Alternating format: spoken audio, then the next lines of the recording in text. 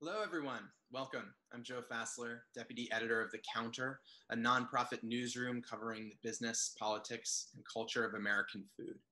You probably know this already, but this channel, it, this panel is the future of grocery retail. It's the second in a series of events for Niman Ranch, Niman Ranch's 22nd annual Hog Farmer Appreciation Celebration. Niman Ranch has organized a series of events featuring luminaries like Michael Pollan and Dr. Temple Grandin, as well as virtual farm tours, chef and farmer panels, and more, all to celebrate their network of independent family farmers. Visit NimanRanchFAD.com for more information. So for this event, we're going to be talking about the dramatic ways that grocery shopping behavior has changed this year, digging into what changes are temporary, which are with us for the long term, and what this means for the farming community. Throughout the panel, I encourage you all to put your questions in the comments section. And towards the end, or the, the little chat room there, and towards the end, we'll have our guests try to answer as many questions as we can. Um, so I'd like to introduce our panelists. We have a, a really amazing group here to talk about uh, the grocery sector and, and just the, the, the truly astonishing uh, changes we've seen um, over the past months. And by do, uh, I thought the way we could do that, um, though this panel will be about trends with staying power, you know, things that are going to stick around and how we might emerge from this change. Um, I'd like to just hear a little bit about everyone's last six months. So when you um, introduce yourself, uh, just tell us a little bit about what you've gone through through the lens of your work, um, even if it's obviously temporary, even if it's obviously, you know, emergency measures. Um, that could be a good way of setting the stage for the conversations that we're going to have about longer term trends. So let's start with uh, Kevin Kelley, who's the principal co-founder of the architectural design firm Shook Kelley. I had the pleasure of um, of profiling Kevin's work last year, and and Kevin, one thing that was really interesting in that piece, which is called uh, "The Man Who's Going to Save Your Neighborhood Grocery Store," is we talked so much about strategies that uh, you know regional grocers can use to get people in the door you know whether it's putting a restaurant in the grocery or you know or, or focusing on on all these exciting uh, ways to make people want to gather in a place. Well that's really gone out the window uh, in the past months. So why don't you go ahead and introduce yourself and let's just hear a little bit about what your clients um, have have been seeing Thank you, Joe, and thank you guys for letting me uh, be involved in this. Uh, my name is Kevin Kelley. As Joe said, I'm a principal and co-founder of a firm called Shook Kelley.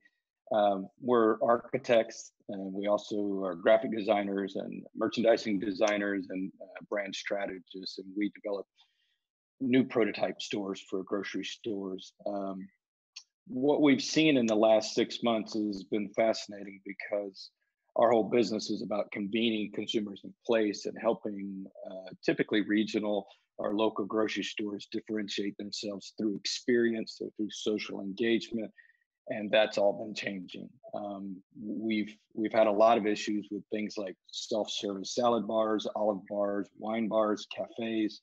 These are all critical factors that help differentiate the local grocery store from say the giant grocery store chains that have so much buying power and um, kind of investment potential and capacity. And so we've had to look at a lot of changes, uh, particularly within the store environment.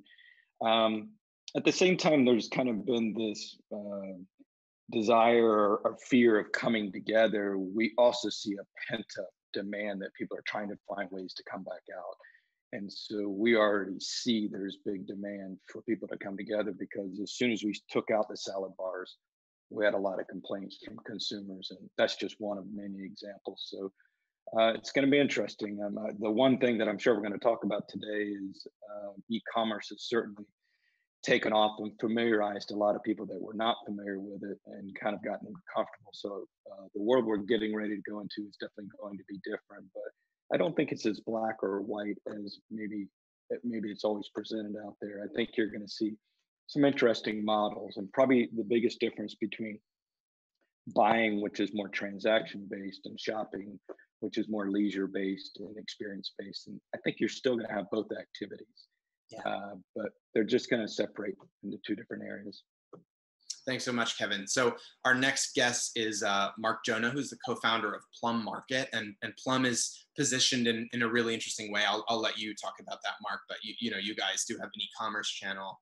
uh, or a you know online channel that's, that's very strong and, and well positioned, as well as you know the physical stores. Um, so yeah, just introduce yourself and tell us a little bit about how how your work has has been impacted over the past months. Sure, I'm Marc Jonna, co-founder of Plum Market. Started our company over 13 years ago with my brother Matt. So independent grocer in the Detroit area, Chicago, and soon to be in Washington, D.C. So uh, we are in the bricks and mortar stores, like grocery stores, as you just said, Joe, but also in the e-commerce business. And now drive up and delivery, which is becoming a big thing during COVID. So when people don't want to shop in the store, they still want the great products, so they want the convenience of getting it.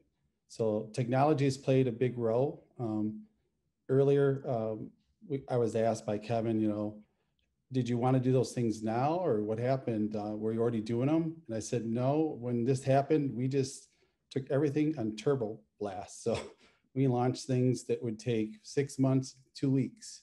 Amazing. Uh, we work 24 seven with our teams and uh, it's been an amazing experience. And I think through adversity is when you really learn the true culture and the true um, determination of your team members and your guests to support you and your vendors. So it's been an amazing, um, an unbelievable experience the last six months. Something I would never have imagined in any movie ever produced, and I thought it was the most fiction I've ever watched. So I think still feel like we're in the, you know, we're, we're still in the first act and we're trying to figure it out. But you know, really proud of our vendors like Niman Ranch, our amazing team members we call superheroes right now, uh, being on the front line, and um, also you know just just staying staying with the time. So it's really a, a great time to really talk about it and kind of share different experiences with, with everybody on this panel. And really thank you for making me part of this panel. Thanks so much, Marc, and a, a lot to follow up there as the conversation goes forward. Um, next, uh, I'll introduce Chris uh, DuBois, who's SVP of protein practice at IRI. And, and Chris is a great person to have on the panel because, you know, you're really looking at the sort of bird's eye view, um, you know, data focused uh, side of things. And, and that'll help, I, I think, put some, some teeth into this conversation that goes beyond, you know, the, the, the sort of lived experience of, of some of the retailers and other experts on here. Um, so Chris, why don't you go ahead and, and um, you know, tell us uh, a little bit about the changes you've seen over the past months. Oh, thanks, Joe. And it's a real pleasure to be here. Um, and I hope, um, really looking forward to working with this group here. We had had a warm up um, last week, and it was it was fantastic. So I know you'll get a lot out of the conversations. Um, IRI is at a very unique uh, part of the industry. So every day we see eight sales in 80% of the supermarkets across the U.S. at item level and we pull in 500 million frequent shopper cards. So while IRI is not a household term for a lot of people, and a lot of people in the audience may not know who we are, um, we're the we're the data that fuels the industry. So we get a kind of a day by day snapshot, and you can go to our website to see it. One of the things we did as a company was speed up everything we do. So our data now comes out daily. Um, but you know, part of that was just in response to to retailers like Marc and and um, our manufacturer clients, processor clients. Um, it's a big deal. So when we see the major changes taking place in supermarkets, you know, sales up in the meat department 90%. I mean, just think about, just wrap your head around that. Total U.S. meat went up 90% mid March. It's it's really an unbelievable number. And even the today, it's tracking 15 to 20% up um, on sales dollars. Total supermarket sales about the same and we've seen that big return to for people not only because they've had to be at home but they're they're cooking more. So the typical recipe rotations you see in a household of 7 to 12 recipes it's expanded. And you can see it across the meat department um, categories like lamb bison some of the exotics. Um, turkey's had a phenomenal run. You know just areas that have been very slower growth are now doing extremely well.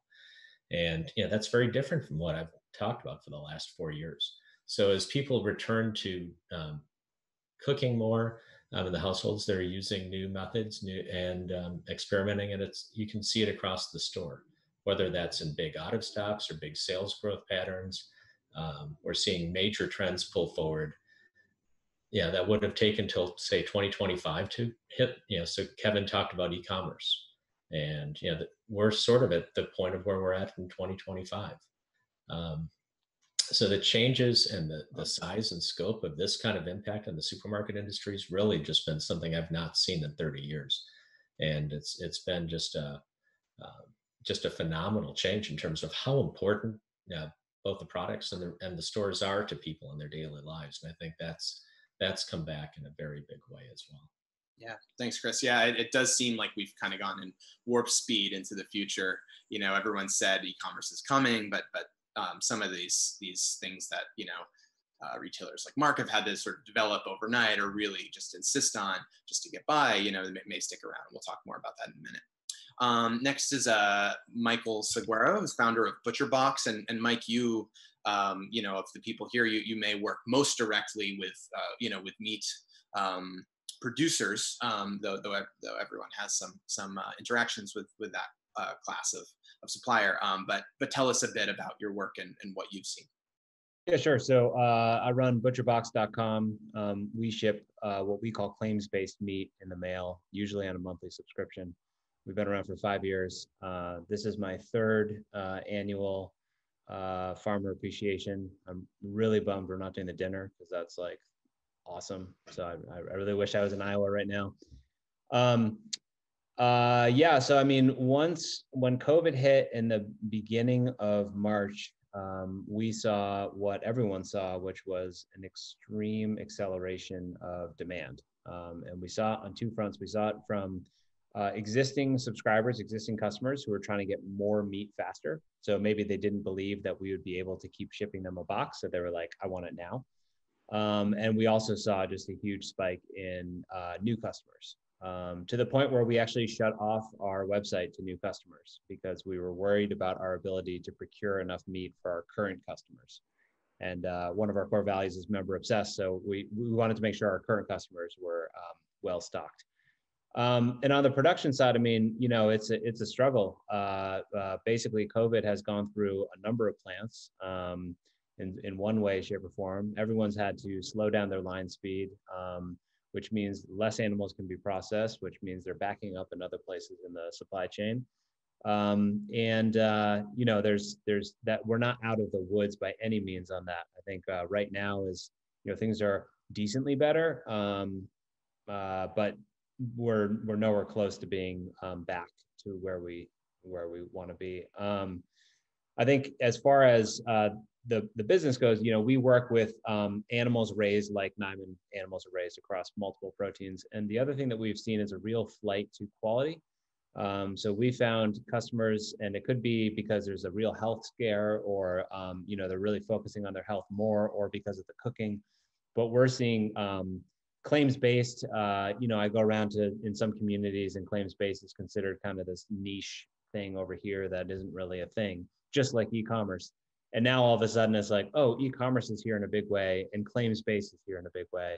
And um, I've joked with my team, while we would never wish uh, the pandemic on on on the world, um, really the we could not have found more perfect conditions for a company like ours that really stands for you know the, the animal and humane treatment for the animal and treating the farmer well um, and also delivering conveniently to people's doorstep uh, that, that's really certainly been appreciated. Um, and um, yeah, it's been, I mean, it's been a wild ride. Everyone, I'm sure it's just been a crazy wild ride. Every day is a new piece of information, uh, things that are totally non-linear to where you, like what you would expect to happen, happen. It's just been a, it's been a really, uh, I, I would say agility is the number one thing that has been uh, important during this time for all sorts of brands and retailers and grocery stores, et cetera.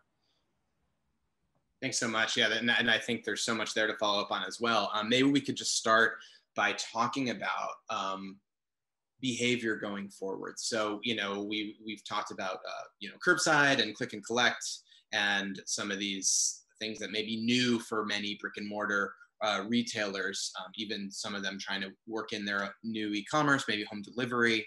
Um, how have we seen?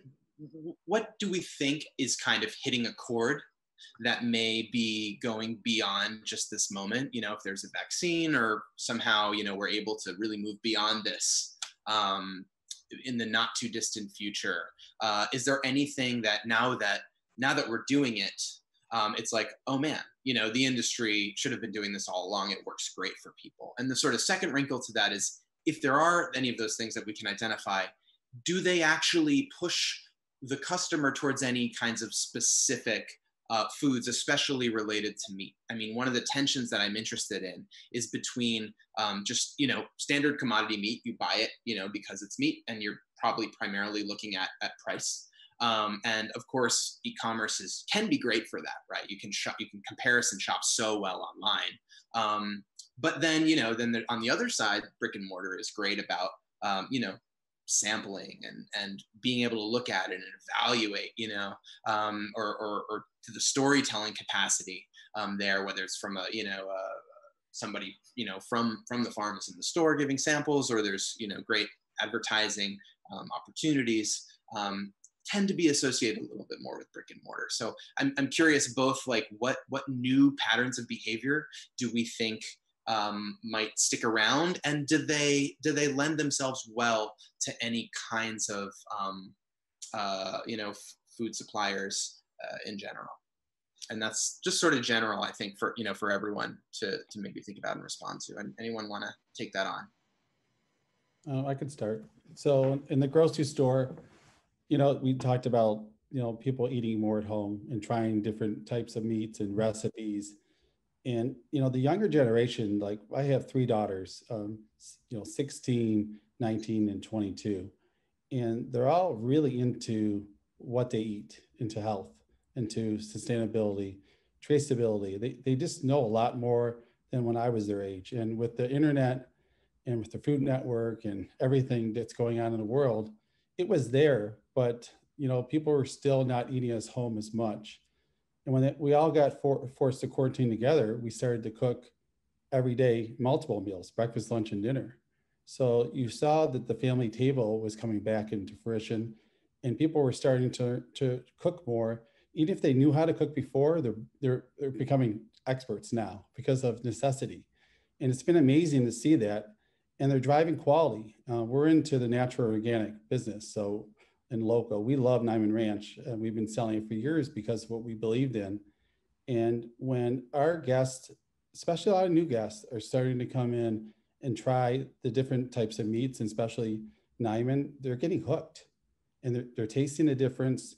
They're feeling emotionally the difference because they know the, the, the, taste is emotion, you know the story behind it finally because they Google it or they, they hear something from somebody else that tells them. So it's, it's a great new trend. So remember you said drive up and delivery, ecom, you know, a less grocery store experience because you you shop less frequently but bigger. So your your basket goes from like 25, 30 to over 100, sometimes even bigger. And people were buying, as we said earlier, they were buying tons of meats. They all wanted freezers, you know, so they wanted they were scared we weren't going to have enough meat. So uh, it was amazing to see it. So I think the way you get groceries might change after COVID. The percentage may may skew back in terms of drive up and delivery and ecom. You may get um, those slowing up, but they're still going to be existing. But the long term trend is people are learning to cook again and that there's quality out there. And I always tease uh, people you put premium gas in your car, but a lot of people put bad food in their body. And I think it should be the reverse. Yeah, that, that's so interesting. I mean, Kevin, I wonder if you've seen similar. You, you, on the call we had to prep for this, you mentioned that there's some recipe fatigue. Um, you know, from what Marc was saying, it's almost like the kind of excitement and quality that we look forward to in a you know professionally prepared meal at a restaurant. Now people are maybe trying to uh, approximate at home, you know, by by necessity. But but once they once they try that, you know, you you you don't lose those skills. You know, maybe we see the value in that. Do you think that there may be some staying power? You know, over the past 30 years, we've seen this constant sort of balance between the, the, the dollar spent on food at retail and the dollar spent on food out, you know, in food service. And it's kind of um, been, you know, a, a bit of a, a, balancing act. Who's ahead there? Do you think this may, this experience may, in a longer term way, um, sort of tip the scales towards folks cooking more? Yeah, I mean, it, it's kind of beautiful in a way if you think about it. It's a pendulum and it swings back and forth. And prior to COVID, we certainly had this everybody, well, younger generations eating out, having food delivered. um, actually not sitting down in restaurants. That's the fascinating thing. In 2016, more food dollars were eaten at home, but not from the grocery store. And the grocery store wasn't benefiting from that. Restaurants were benefiting from that. And part of that drive is millennials are gourmet focused and they've made gourmet uh, mainstream. It's no longer it's no longer a specialty item. It's what they want every day. And you see that with coffee behavior, six, seven dollar coffees every day that older generations would have never even considered. Um, and so th- there's been a premiumization of food and a quality of food and, and story of food. I, I, think the bigger idea that sometimes gets missed in this, and it's very easy for all of us to miss this, is that uh, since the beginning of time, food serves very symbolic meaning issues, and we need food with meaning. Uh, it's what brings us together, it's what bonds us, and we need variety in our food, and we need story in our food. And you know, just just if you look at all the language and meaning around breaking bread and what that does to us, or making a toast, or having a drink or celebration, th- these are all very important traditions and rituals that won't go away. And this temporary situation with COVID created a fear-based mentality. So there was a a lot of concern about sustenance and just being able to survive. But as we pull out of that, people are going to be looking for food with meaning. I think I think what it's shown is the cracks in the grocery store. The grocery store was built on a Model T chassis, and we've been constantly trying to build that same idea: perimeter, center store, front end checkout these are not at the convenience of the consumers. This is the convenience of the warehouse distribution pack out system. It is not what consumers want. And the thing that we've really learned right now is we don't like to work. We don't like to schlep stuff, but we do like to experience food and we do like menu ideas and, and we want to get away from menu fatigue. We're in touch with consumers every day for the work we do. And we we hear chefs, we hear gourmands in their home saying, I don't know if I can eat another meal that I'm making myself. And so we're really excited about what this might mean. Can you imagine if we just took out the actual work components of a grocery store for a consumer? We said, well, we're not going to make you wait in line. We're not going to make you, you know, go through an hour and a half experience. But what if we increase the delight aspects, the meaning aspects? And so I'm kind of excited about what's what's coming up and what's out there for us. But I do think it requires getting rid of the dinosaur chassis and, and really rethinking what a grocery store should and could be. Yeah, yeah. I'd love to talk more about that and you know um, opportunities for storytelling, uh, especially you know online, um, or, or, if that really you know has to happen more um, in in place you know when we when we are able to do that better but before we do chris i'm, I'm just wondering you know just in terms of the sort of retail data that you look at the, the vast volume of that um, you know we all saw this this uh, sort of temporary shortages in the beginning um, we saw the people stocking up their meat freezers or buying meat freezers for the first time. Now, is that starting to shake out a little bit? And, and as it does, are we starting to see, you know, some some changes in the in the way people um, buy food or, or the, the proportion of foods that they buy and in a way that you think might stick around or is it is it too soon to tell I think since March, we've seen a very good stabilization, at least of numbers across the total store. So it's it's run high. You know, sales have been great. If you see results from most retailers, they've done extremely well. Um, but the big takeaway, I think, is consumers are just shopping differently, and it, it's likely to persist over time. So what we're seeing is people making shorter trips into the store, but they're buying more when they're doing it. So in other words, that weekly stock up trip may not take an hour. They want to be in and out in half an hour. So as a result, they're being very particular about what they go after. Um, so they're looking for the retailers that are in stock on the right kind of products, or they're looking for the categories that make a difference. And so when a consumer does pick that store, you know, think about fewer trips but buying more you know that those retailers are really winning big. So we're starting to see the separation now between retailers as well as manufacturers about um, in the category side. So the manufacturers that can stay in stock can make sure the retailers have the right kind of products. Um, yeah the out of stocks are still kind of there especially in the meat department. Um, it's not as bad as it used to be. There's not the you know dramatic gee there's nothing here except for plant-based foods um, pictures that you might see in USA Today and others. But um, that set, the separation is really happening across the store. So, and what I mean by separations, I mean some manufacturers may be up 10 to 15 percent, some are down 10 to 15 percent simply because of that factor. Um, we're also seeing just a, a, a, ton of new buyers coming into categories. So I, I would just kind of want a, a, national brand sausage company comes to mind, but there's still a small regional player. 750,000 new buyers came into their category that had never bought their product before. So what you're seeing now from a, a retail side and a marketing side is just probably the most important moment from a food marketing side that we've had in 25 years. And it's simply because there's so many new buyers coming in the re- the manufacturers that can retain those are going to win in a big way.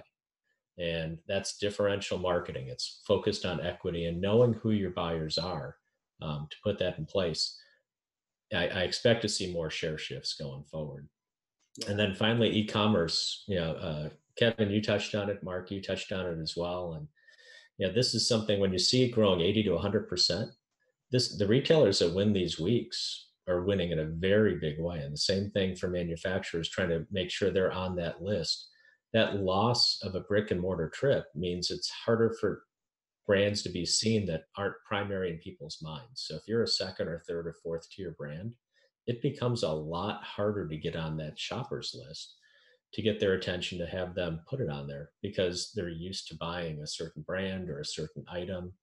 Um, so I think we're going to see a shakeout for the manufacturers at some point here of who's really getting behind and helping drive business at the retail level and who's been sort of coasting on, um, you know, over the years on on hardcore trade promotions.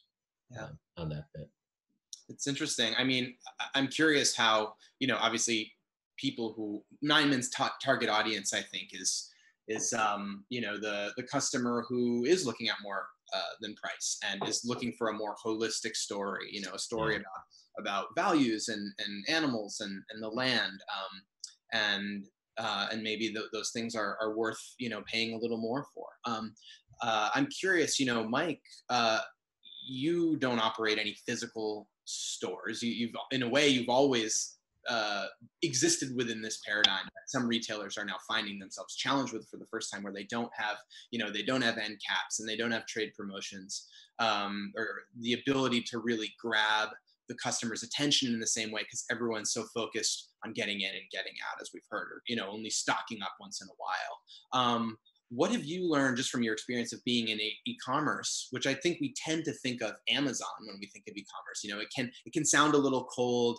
uh, it can sound a little more sort of inhuman and transactional i think you know that's the cliche um, but you you know you're selling claims based meat as you said you're trying you're a storyteller you're trying to um, give people like the special option you know the thing that they might buy and be excited about because of how good it is. Um, what have you seen? What opportunities do you have there in terms of storytelling um, for folks who are for the first time finding themselves having to deal with the kind of e-commerce landscape?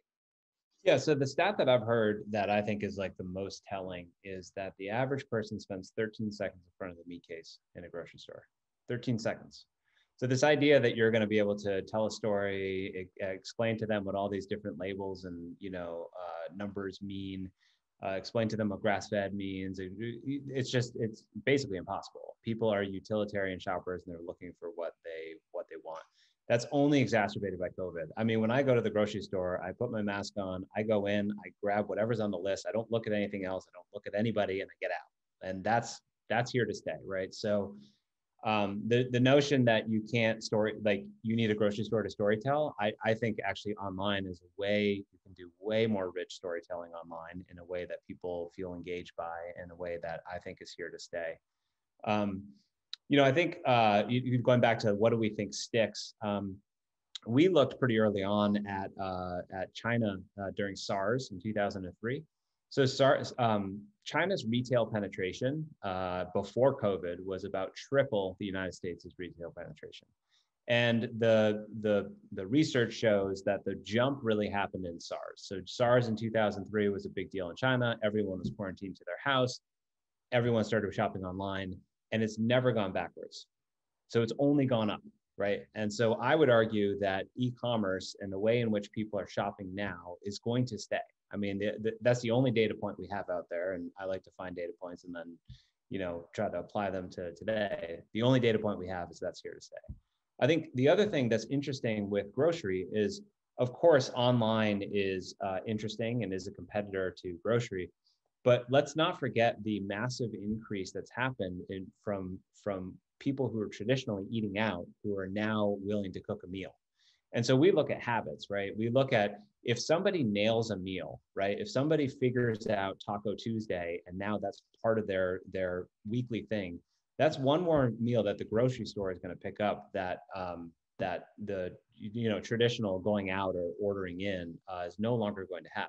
And I believe that will stay too. I think people have found a new joy in cooking, and that's that's here to stay. That's not going to leave. So personally, I think grocery is going to have a big climb e- e-commerce yes figure it out but certainly the uh, if i have to um, you know uh, order food out and worry about that or just cook i'm i'm to cook um, and finally uh, i guess two other points there, there was a week in uh, i think it was april where the price of a tenderloin right so like a fillet a fillet which people would have at a steakhouse was almost at the same price as conventional meat it was almost at the same price as a chuck roast so when you think about like what are people doing, they're no longer going to steakhouses. They're trying to figure out how to cook a chuck roast for the first time, and that's just like a you know mind blowing kind of that. And then that totally changes the the the cutout of the animal, which caused a bunch of problems. Um, and then finally, um, we like to look at like what are other indicators of what may happen. The only indicator I've been able to find, and this is like brand new information, um, Melbourne, Australia. Uh, so Melbourne just went back. They just went back into quarantine. Uh, shelves were cleared. People like the, I think the, the the question in my mind is not is coronavirus here for longer? Is it going to get worse in the fall? I, think yes and yes. Um, the, I, I think the question is, do people start panic buying again? Because that's what we saw. We saw like real fear causing people to purchase. And um, you know, the only data point we have thus far are places that are in their second wave or are starting to see, you know, starting to move backwards. And thus far, it appears that it's going to be more of the same, where the shelves will be cleared again. So interesting. Th- thanks for all those comments. I mean, you know, one thing this makes me think of is, as we know, you know, demand for food is maybe more or less fixed. That's the conventional wisdom. Although the panic buying, you know, it shows that maybe not to be totally true because I think people were buying more food for a while there. Um, but it, you know, if you if you sort of take for granted the cliche that the demand for food is is sort of a, a zero sum fixed thing. Um, maybe there is still room to grow for both e-commerce and the grocery industry because the real loser here, uh, unfortunately, for them is restaurants. Um, and we have been reporting quite a bit on um, how restaurants were trouble in trouble even before the pandemic um, for a lot of reasons. But obviously now um, we're seeing some really tragic things in in that sector. So that that may mean that that um, that both grocery and e-commerce are are are not necessarily pitted against each other, but both kind of filling up um, the vacancy that's being left by the by the contraction of the restaurant industry. Yeah, yeah I, I think that's very fair, Joe. Just kind of thinking about it in terms of, of kind of where we see things going. And, you know, it, it, I hate to say it's a forever trend, but it's probably a good one you could bake in for three to five years to say that people have learned to cook at home. And it, that's a big deal. I mean, I've sat around industry association meetings for 20 years of shoot, supermarket industry and the food industry is always how do we get people to cook at home? You know, apparently the, the answer was a pandemic uh, to go do that because it because it, it's happening.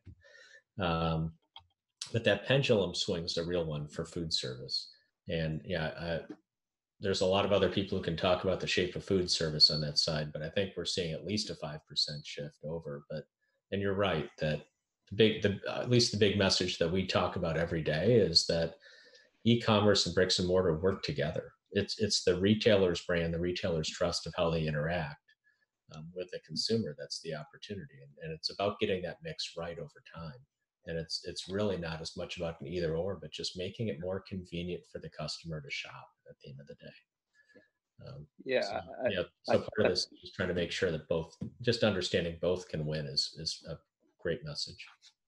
Go I think uh, I'd have some comments for both, uh, in between both Chris and Mike's comments, which were great. Um, I, I, think Mike, the way you described your shopping pattern of getting in and getting out is a type of customer. But we videotape customers, we watch customers, and Um, and it actually breaks down in terms of age and gender. And many customers don't shop that way. Many customers, uh, men tend to shop very fast and walk at a really fast gait and get in and out.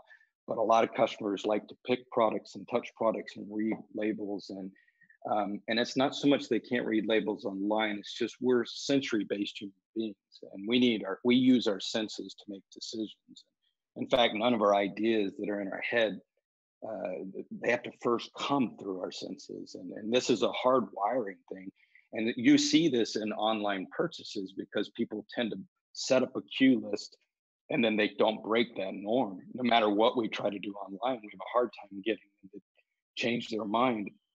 I think what's interesting between your business and Amazon's business is that Amazon is selling a commodity that's a known commodity. And I, I think what you sell is ideas and inspirations and solutions on how to live a better life and how to eat better. And that is what the consumer is really dying for is I need ideas, inspirations, and solutions. And I'm looking for the editors out there that can bring me those ideas. And a couple of surprising things we've seen. We we work with you know 25 different grocery stores, some low price, some high price. Our premium grocery stores are doing great. They're doing double what the traditional grocery stores are doing. So our premium ones are, are fantastic right now. They love this.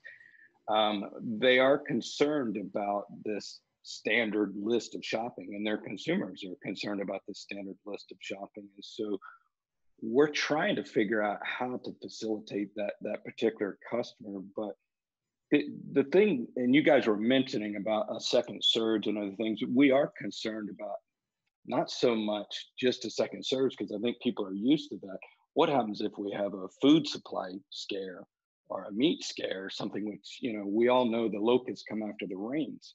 And so that has got people a little bit nervous. And so we've been trying to redesign the grocery stores around this idea of, of cleanliness. And we used to do this in the 70s and 80s. We used to have very sterile stores. And then we went into very uh, gritty, earthy stores. I think you might see a pendulum swing on that.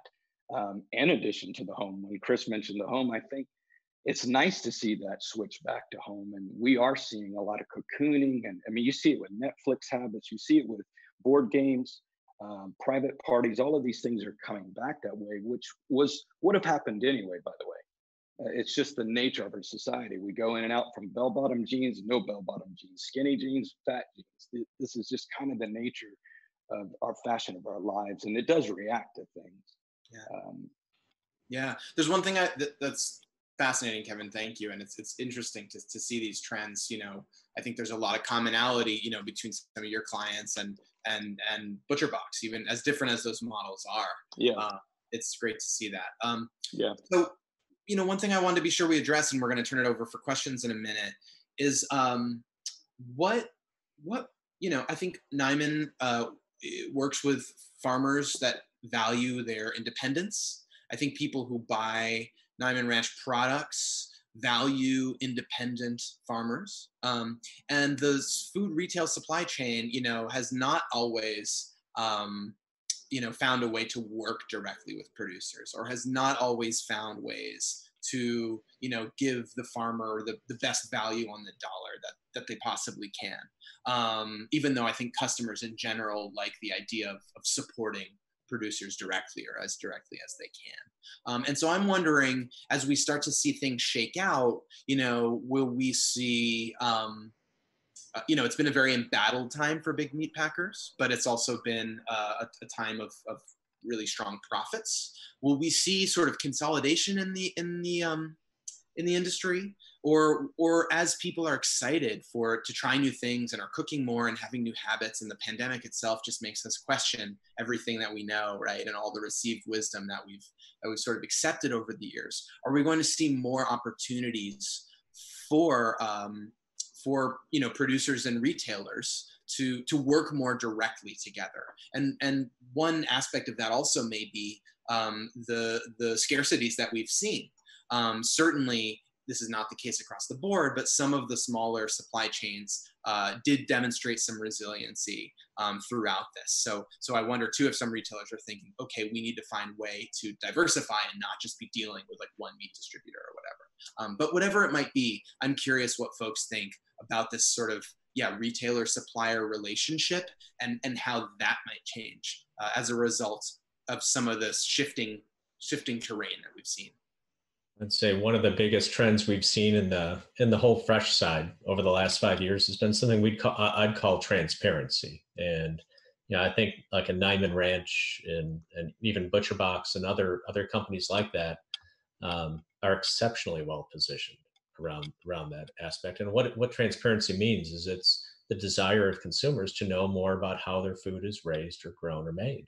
And it and it's just opening it up all the way there from how it's packaged to you know, to how the animals were cared for. So when Mike talks about telling a story around that, or how Niman has uh, the, uh, you know, the independent farmers, that story is very powerful because consumers are searching it out, and not just boomers, but think Gen Z, millennials. They're used to popping it up on their phone to go find out the origins of of how that animal's raised. If you take it out to the uh, take it out to a produce example, just to take it out of the meat side, um, yeah, there you can in in many cases you can go to a strawberry package in a store, click on a, a QR code, and it'll take you back to the field, how it was picked, what the conditions were, etc. So the expectation is from a consumer side that more and more of that is open, that they can find that information and they value it, and they will pay more um, and support the brands that get behind and do that. So the more open a brand can be, the more open a uh, uh, a product can be, whether it's a, a meat packer or whether it's um, something else, the more benefit it is from the consumer side because it helps drive sales. And that's something our research has shown over and over that the, the manufacturers and retailers that get behind that trend and support those kind of products grow faster than ones that don't. Yeah. Any other thoughts on that topic before we we take some questions? Yeah, I have a. Yeah, and you guys might all want to address it. It's it's it's a big. Yeah. no, virtuals, yeah. uh, virtuals are big right now. We're doing a lot of virtual seminars for education in all different departments. We have a master summit, Madeline Trefan, that's building every every day, every time, every week we do it. They get larger and larger. We can get winemakers from Europe. We can get all throughout the different producers. And when you go to a family farm of one of Niman Ranch's um, partners, you fall in love and you want to support it. And our guests, we're the world's safest grocery store. If you come in our, we run a hospital right now. Um, we really take care of our guests our team members. We have full service meat departments. A lot of our competitors, conventionals, went to self package only. Um, and our average guest spends about five minutes at a meat counter, not 13 seconds, because they're an independent, higher quality meat department. So they want to see the different cuts, talk to the butcher. Still, even COVID, because we have less guests in the store, they can social distance. Remember, people are sending one person instead of a family of five to the store. And when they do come in, they have a big list and they're going to fill that card up and come less frequently. So again, that's a COVID trend. So it's a change. But I want to tell you, Niman Ranch has been on the phone with us daily or weekly during this time of pandemic, making sure that we know if we're not going to get our meat, if they're going to have a shutdown one of their slaughterhouses. They've been fantastic. So all of our vendors, our suppliers, we actually our relationship went up a thousand percent during this time because we're all in this together. And I love the communication I got from the Niman team. And my loyalty to them is even stronger today. And what everybody knows that buys Niman, should. It's, it's great. Yeah, thanks. Let, us hit Kevin and, the, and then Mike. I, I, think what's interesting is the the connection be, between millennials and empty nesters. This has been a hard thing, our boomers, that that people, you know, they seem so different at one point in time. But what's fascinating is they're both connoisseurs. They really want to know how leather's made, how wine's made. Now, one group might like wine in a, in a milk box, and another might like it in a wine bottle. Um, they're very interested in craft, and you see it with craft beers. You see it, as I said, with leather and shoes. People really want that story-rich kind of experience, and so I think there's so much interest in knowing the producer and maker. That is the big focus. And every time we've done a concept that way, it, it is done really well. What's fascinating to me is I work for a lot of traditional CPG companies, and their sales are way up too. Um, some of them were near bankruptcy. You can you can kind of look and figure that out, but some were almost done, and all of a sudden they're doing great. But when you ask those executives how they feel, they'll tell you our sales are up for all the wrong reasons people are buying this stuff, but they're not loving it. And they are terrified the second we go back to some less panic mode that people are saying, I don't want to eat that packaged product way in the back of my cupboard. I just bought it just in case. Uh, the future, and Chris hit on it, the future is transparency. But, but I, I want to reiterate, I think it's about connoisseurship and knowing your producer and maker. If you dig down into the fears of consumers, they have a fear of uh, 1984, one giant company making all their products. Uh, they're terrified of this glaxo chemical food. And, and to some degree, Amazon has this. If you're buying everything from Amazon, you're getting everything from one place or say four entities. And so, as much as the pandemic kicked off some reactions, give this a little time when we consolidate food to just four major operators. Watch the public's reaction to that. The public is not going to like that. And I say that as, say, grocery stores die or other things happen, you're going to see the public say, now, wait a minute, who's in charge of my food? Hmm. This is going to change. It'll be our next kind of paranoia. Yeah. Mike, did you have a thought there you wanted to share? Yeah, I do. I think, um, you know, one of the biggest challenges for any retailer right now is trying to predict what Q3 and Q4 look like right? So we saw this huge spike of demand in the in the spring, and now it's been softened. I mean, it's still 15 to 20 percent above where it was in terms of meat, but it's not 90 to 100 percent. And nobody wants to be caught flat-footed where their customer is unable to go to the store and purchase what they're looking for, right? So my biggest concern, especially for a brand like Niman, is making sure that the retailers are willing to keep their commitments because at the end of the day and I've, I've i've seen trip and chris get up on stage and talk about how important it is for the farmers to hear that we are going to buy that pig no matter what. They need to hear that from the people purchasing the product as well right? So we as ButcherBox are saying to Niman here's our projection. We have no idea if we're right or we're wrong but here's our projection. And by the way we commit to purchasing that meat. Like we're going to buy that meat. I'm concerned about retailers who are were left were left flat-footed and how they respond and how they make commitments for for going forward.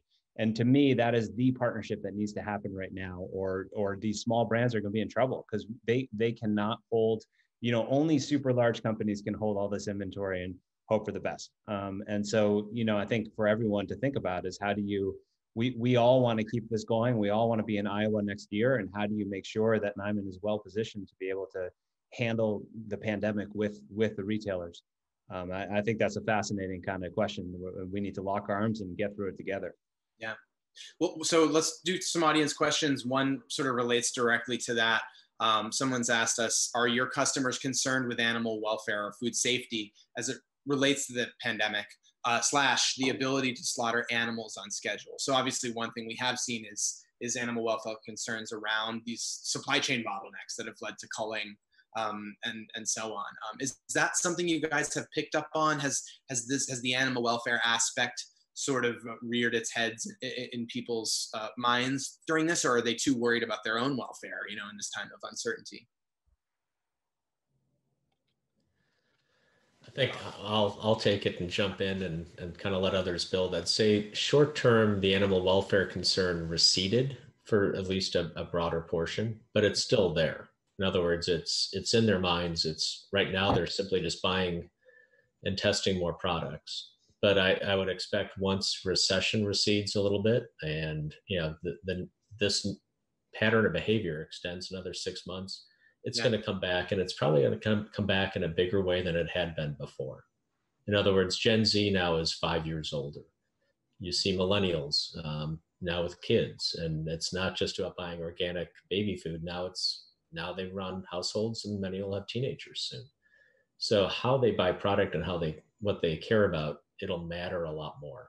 Yeah. uh, so, and so part of it is i would expect that so short term today not as much but it's it's coming back and it's still there. Yeah. I'm going to keep going um, but if anyone wants to touch back on any of these questions just feel free to feel free to do so. Um, this question I just want to ask because I don't know what it means. And so I'm really curious. It says, What shifts are you seeing in SKU rationalization within the meat department at retail? What's SKU rationalization? Does anyone know? Well, it's, we count it by items. So we see when we see item counts um, in the in the supermarkets about what's sold, we're we're seeing it run probably at 10 to 15 percent less. So there's less selection of individual items all the way across that meat case. So if you sort of closed your eyes and thought about a self-serve meat case and even the behind the glass, um, there's just fewer items there. It doesn't mean that there's less meat overall. It just means that manufacturers or, or the processors are running um, more of their main items overall. And the same thing's happening for you know across almost every category. You know, canned soup, you're it, it's really hard to go find if you, if you have a you know a niche flavor soup that you really love, you may not find it um, simply because it's not efficient for those manufacturers to run, and they're really just trying to keep the the shelves stocked in many cases. Um, kind of so whether yeah, so, so, whether it's hot dogs or soup or or you know pork chops, it, it's you're seeing that kind of cut. Behind this, the, the meat counter, what happened was a lot of people were short on staff, so they couldn't cut as many different types of meat. So they're just going after the faster ones. In our stores, we went after the restaurant industry and hired a lot of chefs to become cutters, and our selection was as large during COVID as before. So we had a lot of guests buying all the different cuts because they were getting, you know, tired of the same meat every day. So they wanted different types and they were trying different varieties of meat or chicken or, or seafood that they never did before. Got it. Um, okay, let's see. We've got five minutes left, maybe time for two questions. Um, what changes would you like to see in the meat processing sector that support your needs in retail?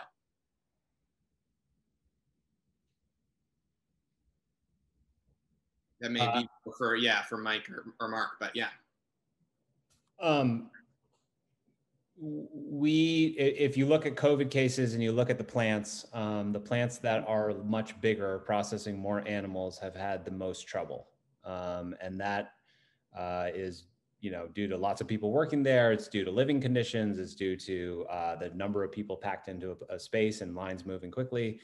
Um, and uh, you know, so we think that uh, smaller, um, more nimble processing facilities are ultimately the answer. Um, there's a few uh, a few things making their way through the government to try to you know support that, especially on the beef side.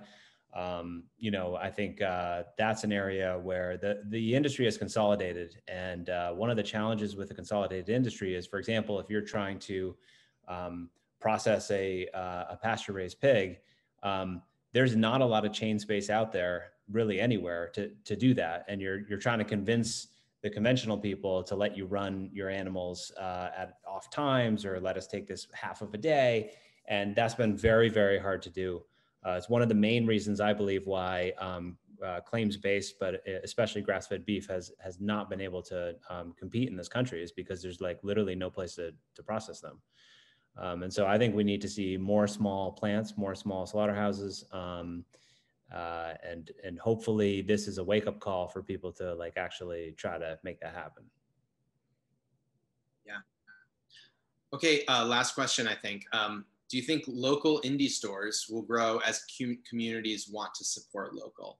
Um, maybe a, another way of, of, of framing that might be, you know, um, will we see more smaller scale specialty retailers or you know or things like ButcherBox you know neat kind of niche uh, solutions for targeted at a specific customer who wants a, a, a really specific product um, or will this you know as as chaos sometimes does just sort of benefit uh, the the entities and organizations that already have the most power i could take that um, as an independent you know if you look at the life cycle of independence not a lot of them go out of business.